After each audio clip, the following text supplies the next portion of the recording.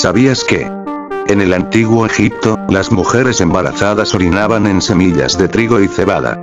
Si crecía el trigo, el bebé sería hembra, si la cebada crecía, el bebé sería macho, pero si nada germinaba, ella no estaría embarazada. Esta prueba de embarazo tenía un 70% de efectividad, y es la más antigua que se conoce.